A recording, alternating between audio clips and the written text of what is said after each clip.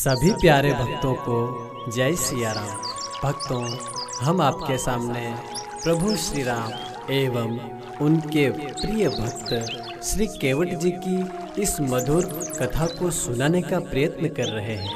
आप सभी इसे आनंदित होकर श्रवण करें एवं आनंद प्राप्ति करें। जय सिया राम